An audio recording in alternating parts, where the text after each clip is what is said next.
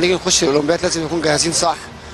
ولازم يكون في منظومة متكاملة للألعاب الفردية. وبالنسبة للألعاب الجماعية إزاي إحنا بلد آه، عريقة في الرياضة سواء في أفريقيا أو على مستوى ال- البطولات اللي إحنا خدناها يعني القارية. إزاي لحد دلوقتي ما خدناش ميدالية واحدة قارية ميدالية واحدة جماعية؟ ده كده عجز اللي عندنا ده اسمه عجز. إحنا كده ما عندناش أصلا يعني لا مؤاخذة ولا منتخب آه، كرة شباب كويس.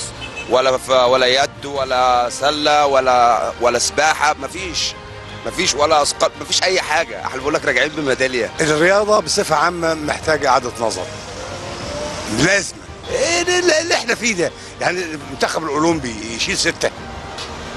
لما يشيل ستة المنتخب الأولمبي طب المنتخب الأول يا عالم هيحصل فيه إيه؟ محتاجين إن إحنا نشتغل على نفسنا أكتر محتاجين نهتم بالرياضة ونهتم بالرياضيين ونحسسهم إن إحنا شايفينهم إن الناس دي هي حاسة إن هي مش متشافة ومش متبعة. فبالتالي مهما كان الدافع ليهم محتاج إن هو يزيد مننا وتشجيعهم يوص... تشجيعنا يوصل لهم. أغلب اللعيبة اللي هناك دي بتصرف على نفسها. فأنا كواحد يعني بتابع اولمبياد من زمان من وأنا صغير فعلا الناس دي بتتعب واحد زي كرم جابر زمان كان بطل وما كانش بيتصرف عليه أي حاجة. كانت كلها مبالغ بسيطة هو اللي بيمرن نفسه بنفسه.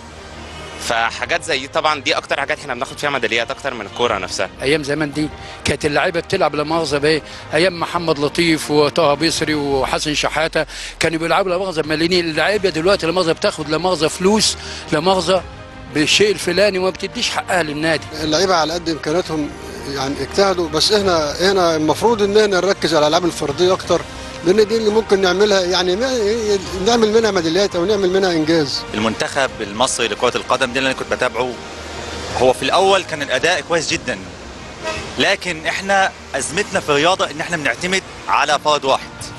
يعني مثلا لما زيزو طلع في ماتش المغرب لقيت إن المباراة اختلفت خالص وانقلبت خالص.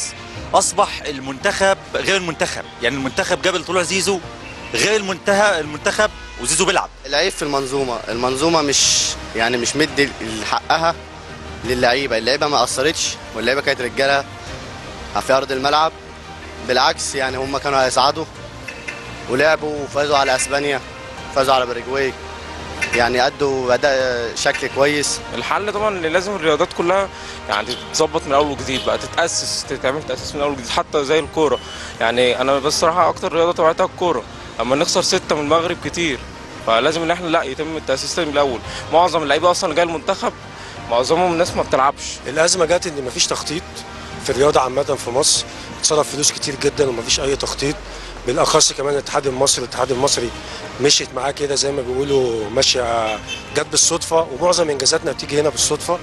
فالحل بقى طبعا بتاع الفترة الجاية إن إحنا نحاول نجيب كوادر كويسة وكوادر شابة كوادر متعلمة بحيث إن هي تقدر تفيد الرياضة المصرية وتقدر تخطط لقدام. للأسف الشديد الاتحادات كلها عايزة نظرة من جديد خالص لناس بتحب البلد.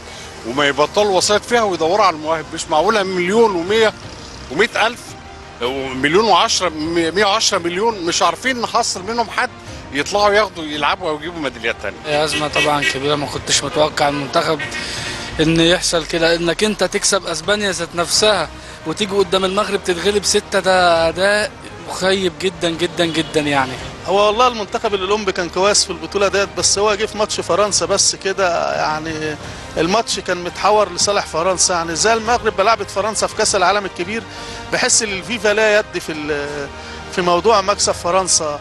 عشان كده الفريق جاله إحباط بعد الماتش ده واتغلب من المغرب ستة. اللعيبة زي ما تقول آه، هم خلاص فقدوا الأمل في الم- في الذهبية.